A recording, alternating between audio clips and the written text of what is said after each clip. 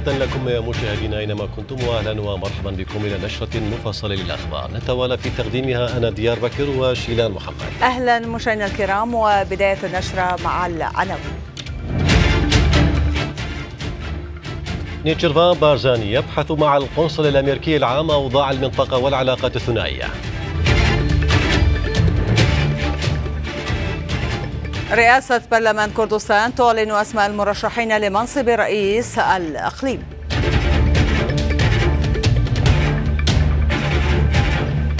خالية الإعلام الأمنية سقوط صاروخ كاتيوشا في المنطقة الخضراء دون أحداث خسائر. وواشنطن تؤكد التزامها بعدم استخدام الأراضي العراقية لمهاجمة دول الجوار.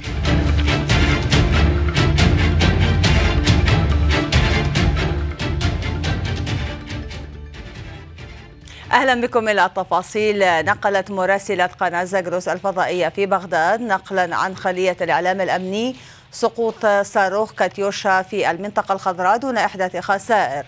كما وافادت وكالة رويترز الإخبارية في ذات الصدد أن صافرة الإنذار انطلقت في محيط السفارة الأمريكية بالمنطقة الخضراء والتي تضم عدة مبان حكومية. نعم وحول هذا الموضوع تنضم إلينا من بغداد عبر الهاتف مراسلتنا ندى المرسومي. ندى أهلا ومرحبا بك. ما جديد بخصوص الموضوع. نعم مرحبا ديار مرحبا شيلان يعني قبل ساعة من الآن تم استهداف المنطقة الخضراء بصاروخ نوع كاتيوشا دون وقوع خسائر مادية أو بشرية. هذه المنطقة التي تضم عدة مباني حكومية حيث أطلقت صافرات الإنذار. وبحسب ما تم تداوله من قبل خلية الإعلام الأمني أن الصاروخ سقط في محيط السفارة الأمريكية حيث تداولت مواقع أمريكية هذا الاستهداف. وتم انطلاق الصاروخ من موقع جسر الأمانة الواقع بالقرب من ساحة مستشفى العلوية للأطفال والقريب أيضا على ساحة الجامعة التكنولوجية. هذه المنطقة هي تعتبر يعني من المناطق المحصنة لوجود عدة دوائر رسمية يعني مما دفع للغرابة والتساؤل أنه يعني كيف استطاعت الجهات المنفذة الوصول إلى هذا الموقع وإطلاق الصاروخ بالوقت الحالي ومنذ يعني استهداف المنطقة القوات الأمنية العراقية بدأت بعمليات تنشيط في المنطقة الخضراء كما لم ينظر لحد الآن أي تعليق من قبل المسؤولين العراقيين. ويذكر أيضا في وقت سابق أن المنطقة الخضراء وتحديدا في شهر كانون الأول من العام الماضي أيضا تعرضت لعدة استهدافات. ولكن يعني هذا الاستهداف يعني لربما جذب الانتباه أكثر خصوصا مع يعني الملابسات التي تحصل في المنطقة وتحذير يعني السفارة الأمريكية ومن يعني رعاياها من السفر إلى خارج داخل العراق وأيضا مطالبة رعاياها في السفارة الأمريكية من مغادرة العراق. نعم ندى المرسومي مراسلتنا من بغداد كنت معنا عبر الهاتف حول سقوط صاروخ كاتيوشا في المنطقة الخضراء شكرا جزيلا.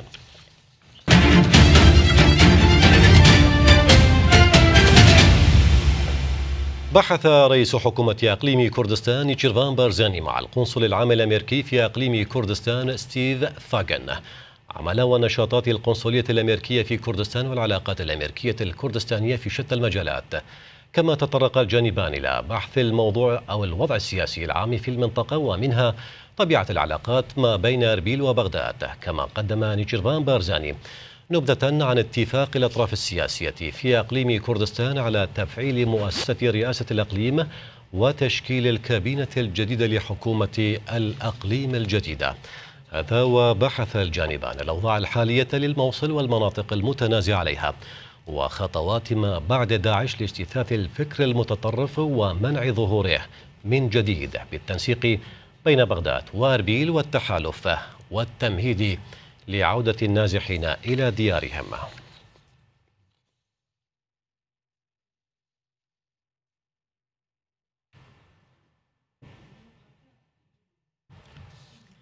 عقدت هيئة رئاسة برلمان كردستان اجتماعا لإعلان أسماء المرشحين لمنصب رئيس إقليم كردستان. وأعلنت الرئاسة في اجتماعها اليوم عن أسماء المرشحين الخمسة الذين تقدموا بطلبات الترشح لمنصب رئيس الإقليم وهم كل من نيتشرفان بارزاني أميد عبد السلام قادر محمد حما صالح قادر ريبوار عزيز مصطفى وهيوة عبد الله خضر.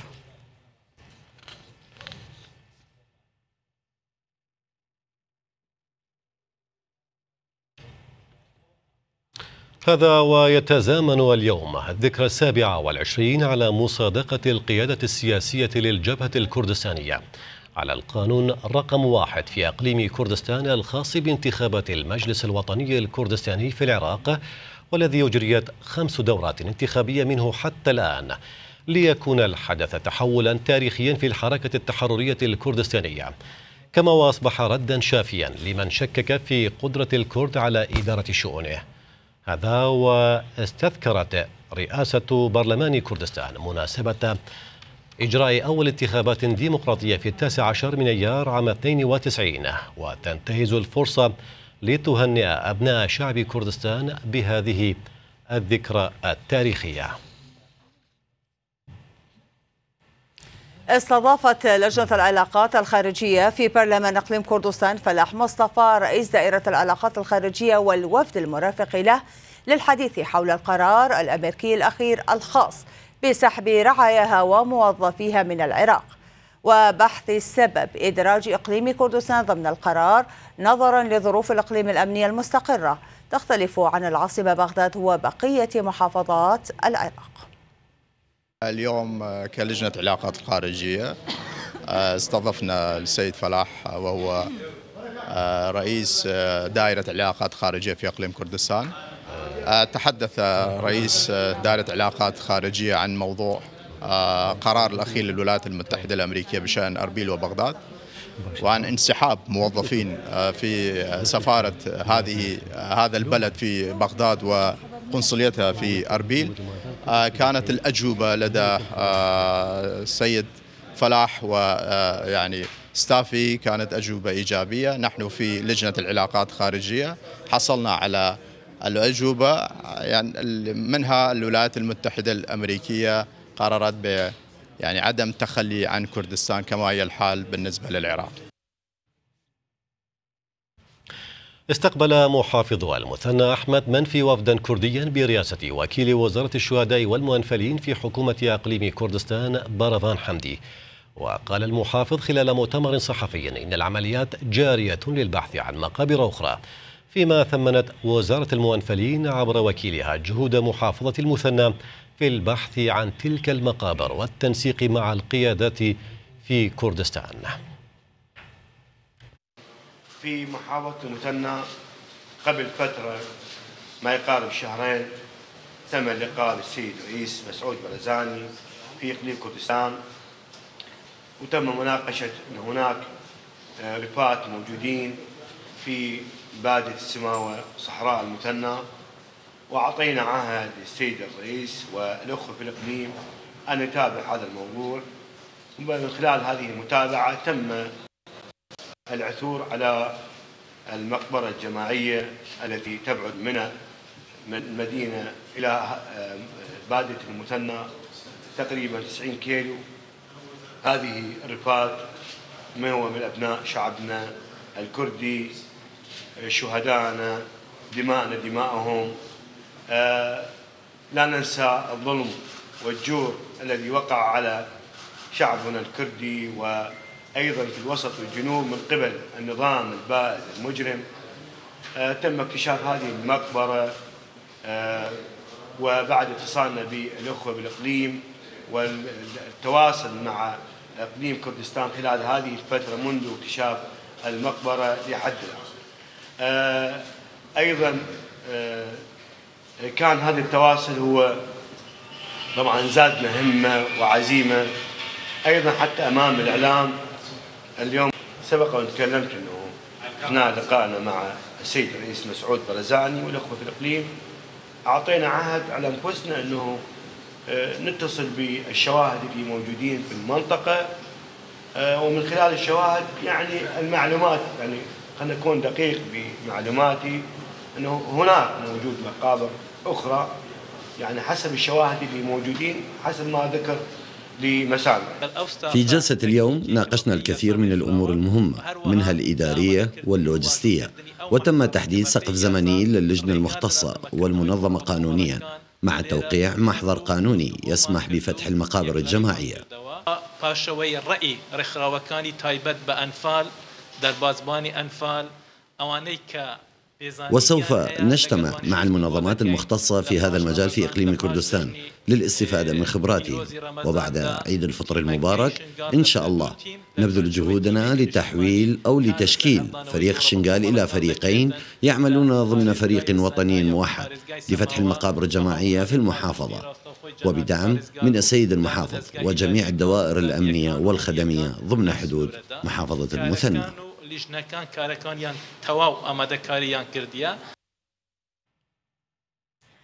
مشاهدينا الكرام ولمناقشة أكثر حول هذا الموضوع ينضم إلي من بغداد السيد فؤاد عثمان المتحدث الرسمي لوزارة شؤون الشهداء والمؤنفلين في حكومة إقليم كردستان. مرحبا بك سيد فؤاد. سيد فؤاد مرحبا تحياتي لمشاهدي شكرا جزيلا لحضرتك. ما جديد المقابر والمجازر الجماعية للكرد ضحايا النظام السابق؟ نعم. اسمحوا لي في البداية أن أنحني إجلالا لدماء الشهداء المغدورين الذين غابوا عن أنفسنا غابوا عن الشعب الكردستاني في عمليات الأنفال سيئة الصيد أود أن أشير في البداية أن عملية البحث للحصول على مزيد من المقابر الجماعية جارية في أقليم كردستان خاصة من قبل وزارة شؤون الشهداء والمهنفلين. وإن زيارتنا للمثنى جاء في إطار جهودنا لبحث عن المقابر الجماعية ونقلنا تحيات حكومة أقليم كردستان ووزارة شؤون الشهداء والمنفلين إلى محافظة مثنى ومحافظة المثنى بالذات نعم. وثمنا جهوده حيث تمكن من بناء ثقة بينه وبين أهالي هذه المنطقة لأنه ثمة في الماضي مخاوف لإدلاء بالمعلومات عن المقابر الجماعية إلا أن الآن تمكن السيد المحافظ من بناء هذه الثقة حيث تمكن من استئصال معلومات من شيوخ وأهالي وشهود عيان لهذا المنطقة للعثور على هذه المقبرة في المثنى. نعم. نعم سيد عثمان يعني أهلا ومرحبا بك مرة أخرى هل هناك آلية معينة أو إجراءات معينة خاصة لإعادة رفات هذه الضحايا إلى أصحابها؟ أه نحن في وزارة شؤون الشهداء والمنفلين لنا تنسيق كامل مع مؤسسة أه الشهداء في بغداد خاصة دائرة المقابر الجماعية لأننا نعمل سويا ضمن أه فريق وطني مشترك يضم موظفين مختصين في مجال العمل في مقابر الجماعية وهناك التنسيق مع منظمة ICMP الدولية ويتم بعد عيد مباشرة عقد اجتماع لوضع آلية لفتح المقابر الذي زرنا هذه المقابر هذا اليوم في إطار زيارتنا إلى مثنى. نعم، يعني بخصوص أيضا في إطار هذه الإجراءات والآلية لإعادة رفات إلى أصحابها يعني هل هناك مثلا وفد أجنبي أو دولي يشارك أيضا في هذه العملية أم فقط هي جهود إقليم كردستان بالتنسيق مع الحكومة الاتحادية كما اشرت كما أشرت إن منظمة ICMP الدولية يشاركنا في عملية عثور وإعادة رفات جثامين المقابر الجماعية وهناك تنسيق كامل بين دائرة المقابر الجماعية في مؤسسة الشهداء في بغداد وكذلك الطب العدلي التابع لوزارة الصحة العراقية إن هذه الجهات تعمل من أجل وضع آلية ل فتح هذه المقابر وإعادة الرفات وفق قانون رقم خمسة لسنة 2006 خاص بحماية وفتح المقابر الجماعية في عموم العراق. نعم سيد فؤاد ما العدد الكلي لضحايا المقابر الجماعية؟ وهل من أعداد للشهداء السياسيين الكرد؟ ألم تصل إليكم هوياتهم؟ نعم. بالتحديد سؤال سؤالك تخص هذه المقابر اللي نحن زرناها اليوم في مثنى أو بشكل عام بشكل عام سيد فؤاد بشكل عام المقابر الذي اكتشفتموها قبل والذي اكتشفتموها الآن. نعم.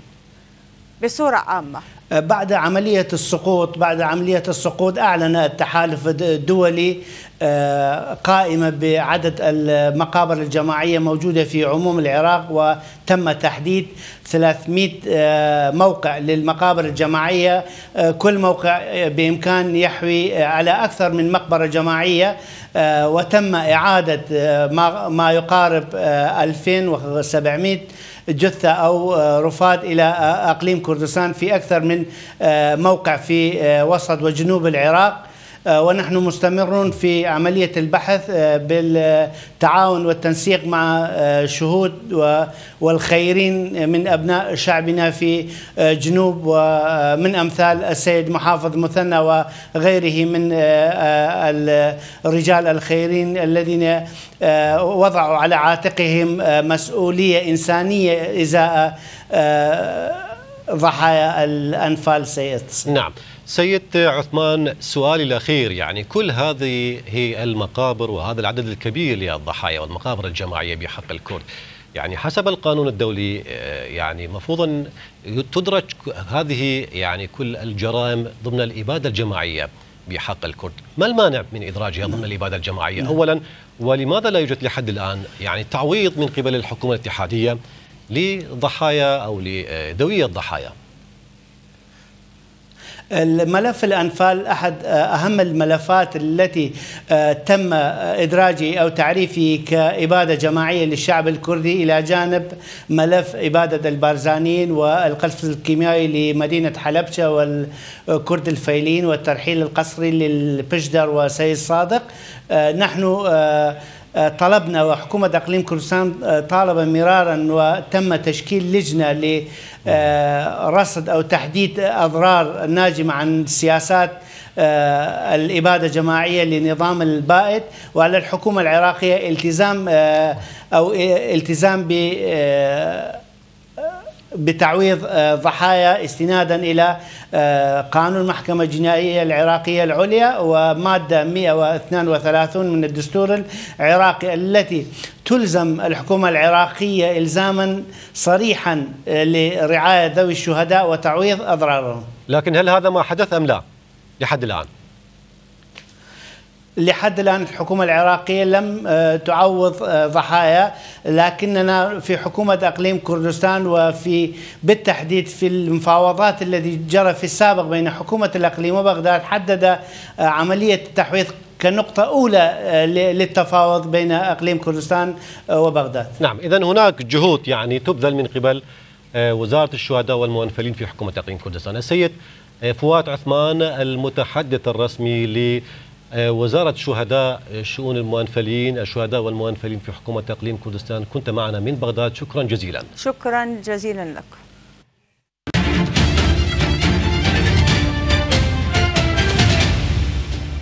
أهلا بكم من جديد في مثل هذا اليوم من أيار عام 87 و900 وألف.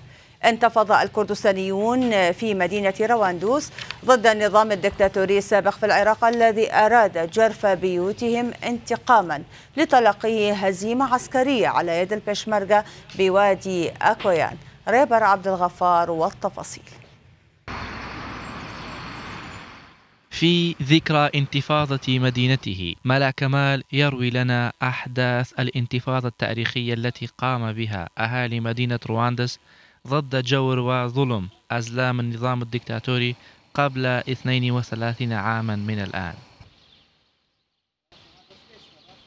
بعد الهزيمة التي ذاقها جيش النظام الدكتاتوري على يد قوات بشمركة كردستان في وادي آكويان بدأ أزلام البعث يصبون جام غضبهم على أهالي مدينة رواندز عبر عدة طرق منها هدم بيوت المواطنين ولكنهم لم يتوقعوا الرد الصارم من قبل المظلومين.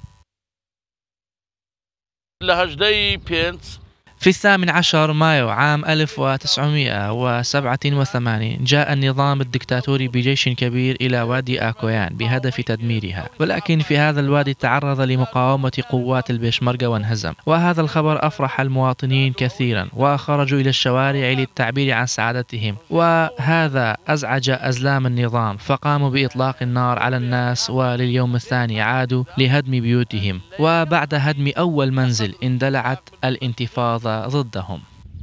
ئەوە بوو یعنی راپەڕینەکە دەست پێ کرد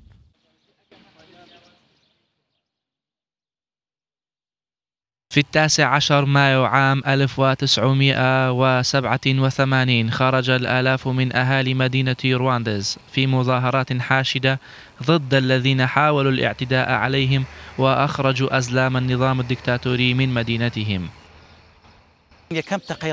بدأت الانتفاضة في هذا الحي الذي يدعى ناورزان وتم قتل عدد كبير من أزلام النظام الدكتاتوري في هذا المكان. وبعد ذلك انتشرت شرارة الانتفاضة في كل أرجاء المدينة.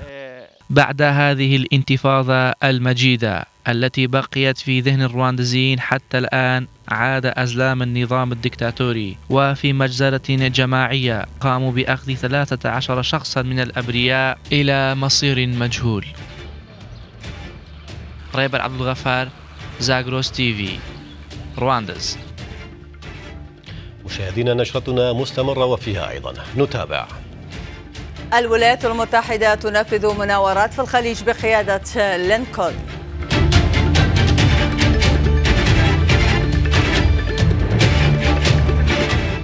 توقعات بفوز حزب رئيس الوزراء ناريندا مودي في انتخابات الهند.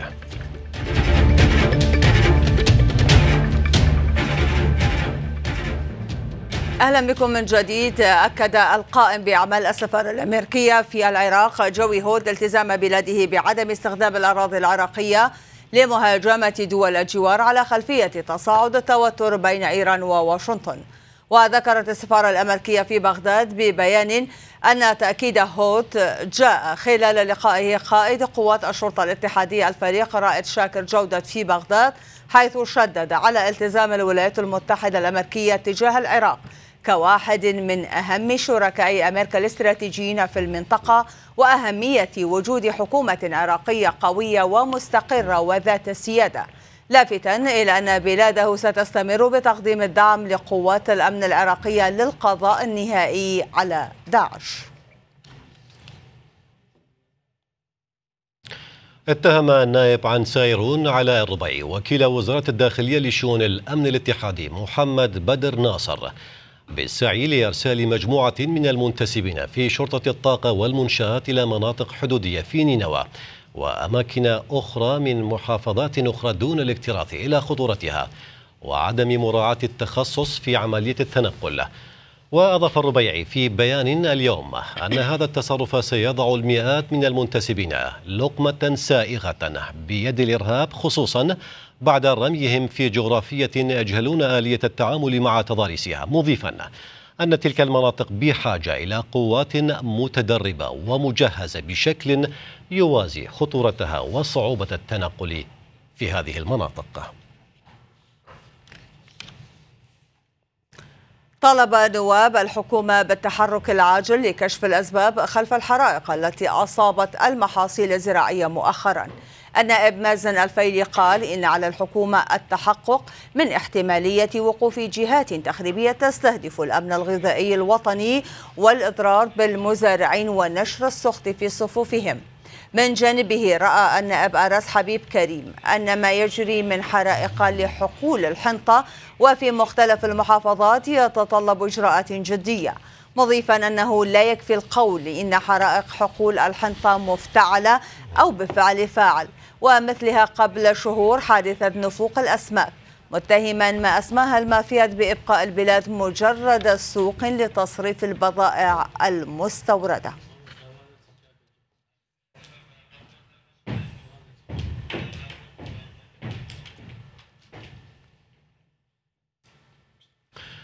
أعلنت هيئة الحشد الشعبي أن حافلة لنقل المنتسبين في اللواء العشرين بالحشد من البصرة إلى ديالى قاطع خانقين شرق المحافظة. تعرضت لتفجير عبوة ناسفة مزروعة على جانب الطريق ما أدى إلى مقتل سبعة وإصابة 26 مقاتلا. وأضاف البيان أن الحادثة الإجرامية وقع على طريق بلد روز أثناء التحاق المقاتلين لأداء الواجب مبينا أن أهالي بلد روز والدفاع المدني سارعوا إلى إنقاذ الجرحى ونقلهم إلى مستشفى بعقوبة العام.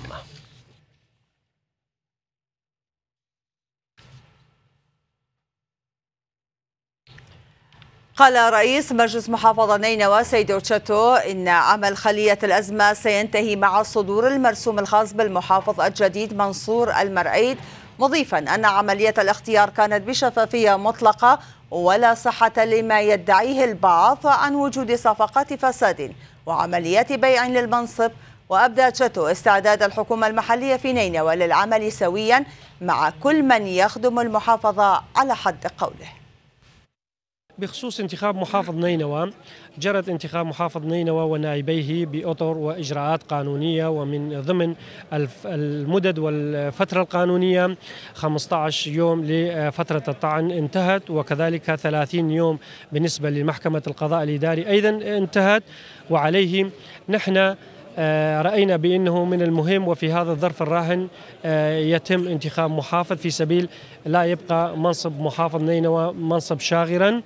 ونشكر في نفس الوقت آه، خلية الأزمة المتمثلة بدكتور مزاحم الخياط وقائد عمليات نجم الجبوري وقائد الشرطة حمد النامس. نشكرهم على خدمة نينوى أكثر من شهر. وسوف ندعو رئاسة آه، الجمهورية بالإسراع في آه، إصدار الأمر آه، مرسوم الجمهوري لتثبيت محافظ نينوى الجديد. على مستوى الحكومة المحلية لمحافظة نينوى هناك جهتين جهة تشريعية والتنفيذية. كل جهة تقوم بواجبها ووظيفتها حسب الدستور وقانون رقم 21 قانون المحافظات الغير منتظمة في أقليم لسنة 2008 الجهة التشريعية تقوم بتشريع وإصدار القوانين والتعليمات الخاصة بالمصلحة العامة لمحافظة نينوى وكذلك الجهة التنفيذية تقوم بتنفيذ آه، مهامها. آه، ومن خلالها الجهة التشريعية تقوم بمراقبة الجهة التنفيذية على تنفيذ مهامها. أما في نفس الوقت إذا إذا إذا الوضع يتطلب وجود آه، دكتور مزاحم الخياط. أنا بتصوري قائد العمليات يقوم يقوم بواجبه باستتباب الأمن من خلال آه، قيادة العمليات وكذلك قائد الشرطة نفس الشيء. أما الدكتور مزاحم آه، أيضا هو رئيس جامعة نينوى ليست بقليل مهامه. أما إذا الوضع يتطلب ليس لدينا أي مانع أن يكون موجودا مع المحافظ الجديد ومع مجلس المحافظة ونحن كلنا نتضامن في في آه، في الخدمة والعمل من أجل آه، توفير الأمن والأمان والخدمات لأهالي نينوى وبناء نينوى. مشاهدينا النشرة السياسية مستمرة لكن هذه وقفة مع الأخبار الاقتصادية. ياسمين أهلا ومرحبا بك. أهلا أهلا شيلان مساءكم سعيد. مساء الخير.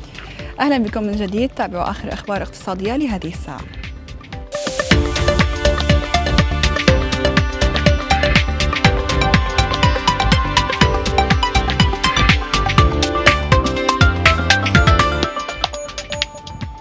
أهلا بكم. أكد وزير النفط ثامر الغضبان إن إجلاء العاملين في شركة إكسون موبيل هو أمر غير مقبول.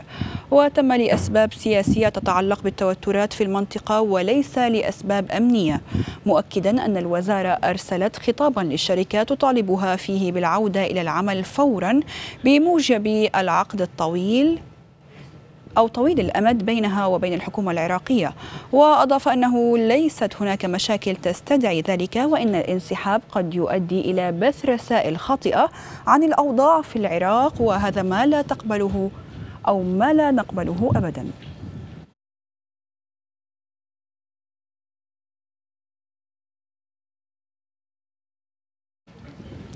أعلن مدير عام الشركة التابعة لوزارة النقل البحري محي الدين عبد الرزاق الإمارة إن الشركة تجري استعداداتها لاستئناف العمل بمشروع التاكسي النهري وإدخاله للخدمة خلال الأسبوع المقبل بعد توقف دام أكثر من عامين. وأضاف أن الخط سوف يربط بين كورنيش شط العرب وميناء خور مشهر الإيراني مبينا أن للخط دورا فعالا ومهما في في الإسهام بتخفيف الازدحامات في المنافذ الحدودية البرية بين البلدين.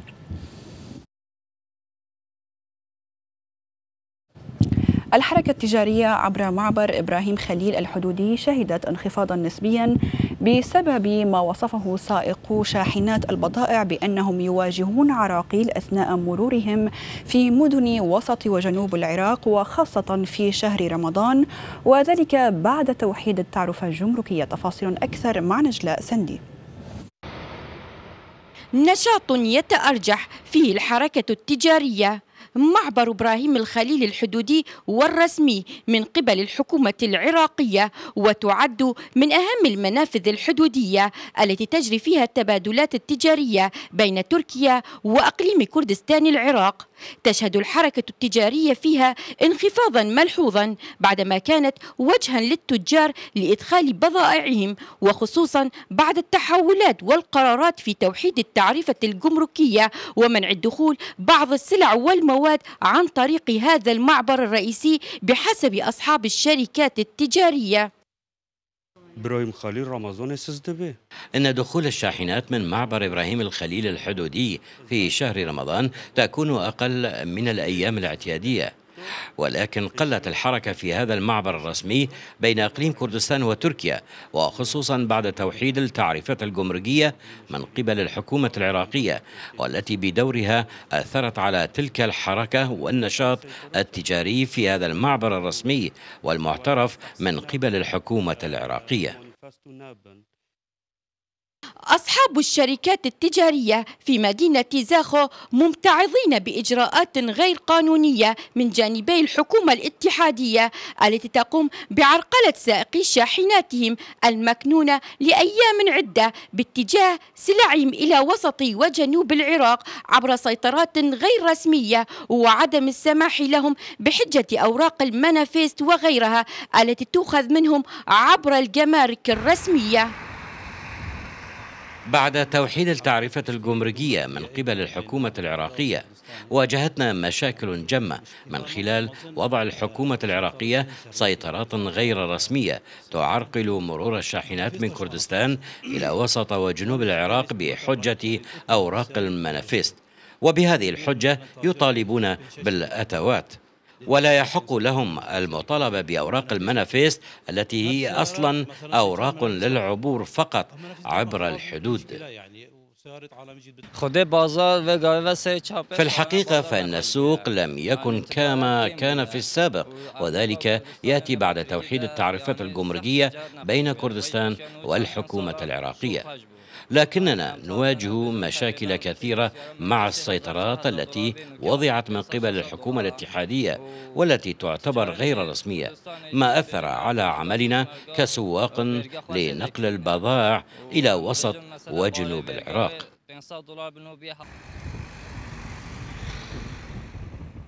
انخفاض نسبي للحركة التجارية عبر معبر إبراهيم الخليل الحدودي بحسب المصادر تجارية وخصوصا بعد توحيد التعرفة الجمركية ومنع دخول بعض المواد إلى هذا المعبر. نجلة سندي زاكروس تيفي زاخو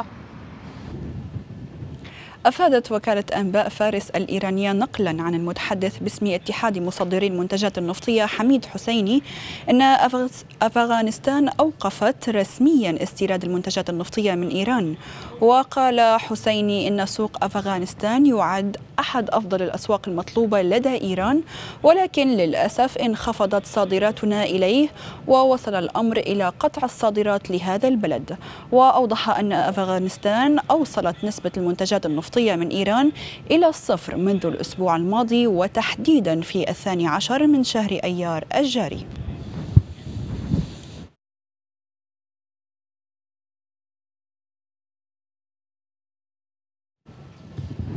حذرت وكالة بلومبرج الأمريكية من معاناة الأسواق الناشئة حول العالم من التراجع المتواصل نتيجة الحرب التجارية الدائرة حاليا بين الولايات المتحدة والصين. وذكر تقرير للوكالة أن مؤشر مورغان ستانلي لأسهم الأسواق الناشئة تراجع بنسبة 3.7% ما يجعله على وشك تسجيل أسوأ أداء له منذ شهر تشرين الأول الماضي. وأفاد التقرير بأن الريال البرازيلي كان أسوأ العملات الناشئة أداء على الإطلاق خلال الفترة الأخيرة وأكثرها تأثرا بالحرب التجارية. من جانب آخر كانت اليوان عملة الصين مؤشرا هاما لرصد مستوى التقدم في المباحثات التجارية الأمريكية الصينية. تعتزم شركة فيراري الإيطالية لصناعة السيارات استدعاء 2071 سيارة في الصين بسبب عيوب في الوسائد الهوائية. وقالت إدارة الدولة لقواعد السوق اليوم إن الاستدعاء المقرر أن يبدأ في الأول من يوليو المقبل سوف يشمل السيارات التي تم استيرادها في الفترة ما بين الثامن من إبريل 2013 والثامن والعشرين من نوفمبر 2017 وذكرت وكالة أنباء الصين الجديدة شينخوا أن الوسائد الهوائية في المقاعد الأمامية التي تنتجها شركة تاكاتا اليابانية بها عيوب يمكن أن تتسبب في تمزقها وإصابة الركاب.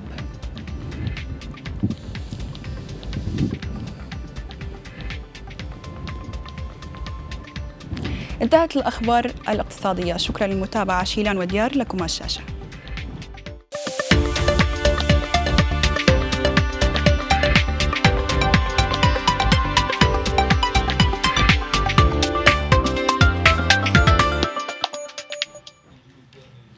شكرا ياسمين ومشاهدينا أهلا بكم من جديد وفي الشأن الإقليمي والدولي. أعلنت البحرية الأمريكية إجراءات أو إجراء مناورات وتدريبات في منطقة الخليج بمشاركة مجموعة السفن الضاربة بقيادة حاملة الطائرات إبراهام لينكولن التي وصلت إلى المنطقة مؤخرا بالإضافة إلى فرقاطات وحامله القاذفات B 52 والاسطول الخامس التابع للقيادة المركزية للقوات البحرية الأمريكية. وفي بيان أن مجموعة السفن الضاربة بالتنسيق مع سفينة الإنزال البرمائية كيرسارج وقوات مشاة البحرية. نفذت عمليات مشتركة تأكيدا على قدرة الولايات المتحدة على استنفار قواتها وتوحيد منصات مشتركة لديها. طيف واسع من القدرات العملياتية. هذا ونشرت وكالة أسوشيتد بريس صورا للمناورات. وزعتها البحرية الأمريكية. قال وزير الدولة السعودي للشؤون الخارجية عادل الجبير إن الكرة الآن في ملعب إيران لتجنب الحرب وسط تصاعد التوتر بين إيران والولايات المتحدة الأمريكية. وأضاف أن المملكة العربية السعودية لا تريد الحرب لكنها مستعدة للدفاع عن نفسها ومصالحها بقوة وحزم ودعا الجبير إيران إلى التحلي بالحكمة والابتعاد عن التهور والتصرفات الخرقاء. وقال إن المملكة تبغي الأمن والاستقرار في المنطقة لكنه أوضح أنهم لن يقفوا مكتوفي الأيدي في ظل الهجوم الإيراني المستمر. تبنى الحوثيين الهجمات التي استهدفت منشآت سعودية وأشار الجبير إلى أن إيران هي التي تمد الحوثيين بتلك الأسلحة.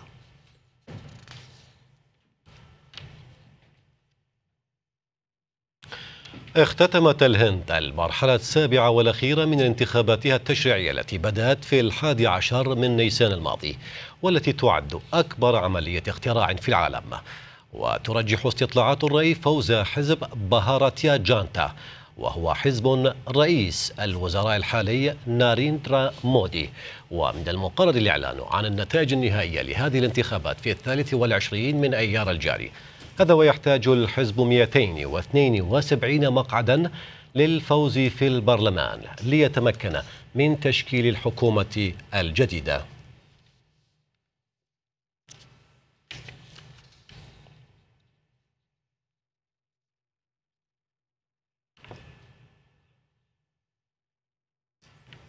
صرح رئيس النمسا ألكسندر فاندر بيلين أن أوائل شهر أيلول المقبل سيكون أفضل وقت لإجراء انتخابات مبكرة إثر فضيحة إبيزا التي هزت سياسات البلاد. تحدث فاندر بيلين خلال مؤتمر صحفي مشترك مع المستشار النمساوي سيباستيان كورز وشدد على ضرورة استعادة الثقة في الحكومة. ومن جانبه قال كورس إن الحكومة لا بديل أمامها سوى إجراء انتخابات مبكرة. وأكد على أن الأولوية القصوى هي ضمان التطهير الكامل. وأن تخضع كافة الشبهات التي أثيرت بسبب التسجيل المصور للتحقيق. وأوضح كورس أن الفضيحة تنطوي على عدة قضايا من بينها إساءة استغلال للسلطة وجرم جنائي محتمل.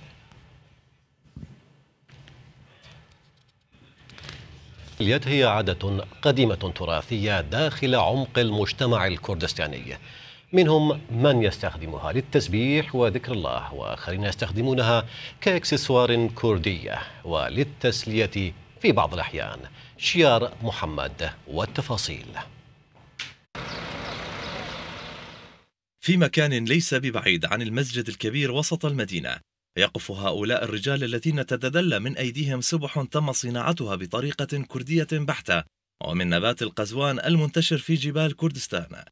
جوان جوان تسبيح جوان. حبات القزوان هذه تقطع مرحلة جلب وتصنيع طويلة قبل أن تجد مكانها في أيدي الرجال والنساء وخاصة كبار السن. نذهب إلى الجبال ونحصل على القزوان ثم نقوم بعدها باختيار الحبات الصالحة لصنع السبحة وننظفها جيدا ثم نعمل على ثقب داخل كل حبة ونربطها بالخيط فيما بعد لتصبح سبحة تصل إلى هنا ويتم بيعها. طبعا العملية طويلة وصعبة وفي بعض الأحيان قد تكون غير مربحة. تتراوح أسعار السبح حسب نوعها وأغلاها هو الأبلق لأنه مع كثرة استعماله يعطي بريقا يوما بعد يوم. هناك نوع من السبح تحتوي على خطوط تسمى جولك خور وأخرى تسمى قلخور والأغلى سعرا تسمى أبلق لجمال حباتها وبريقها كلما ازدادت قدما. وعلى الرغم من اختلاف استعمال السبح بين الأمور الدينية والكماليات لكن أغلب الكردستانيين يتفقون على أن اقتناء السبحة هي أحد الظواهر التراثية والتي تناقلتها الأجيال مع مرور الزمن. جوري قزوان. هناك أنواع مختلفة من السبح المصنوعة من القزوان. منها ذات الحبة الكبيرة ومنها ذات الحبة الصغيرة والناعمة. كذلك هناك الأصلي والمقلد. هذه السبح حملها آباؤنا وأجدادنا وأيضا نحملها نحن الآن حتى أصبحت جزءا من الفلكلور الكردستاني. تختلف الأسباب لحملها بين التسبيح وذكر الله وصولا إلى استخدامها كأكسسوار أو للتسلية. منذ القدم وحتى الآن وما تزال السبحة تعطي صورا عن عبق التراث والفلكلور الكردستاني. لقناة زاغروس TV شيار محمد السليمانية. مشاهدينا الكرام ختاما هذا تذكير بأبرز ما جاء. نيتشيرفان بارزاني يبحث مع القنصل الأمريكي العام أوضاع المنطقة والعلاقات الثنائية.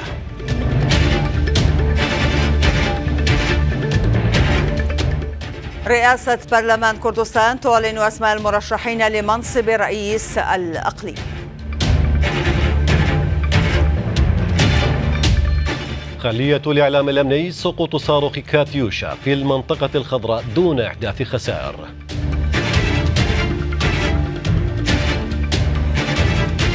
وواشنطن تؤكد التزامها بعدم استخدام الأراضي العراقية لمهاجمة دول الجوار.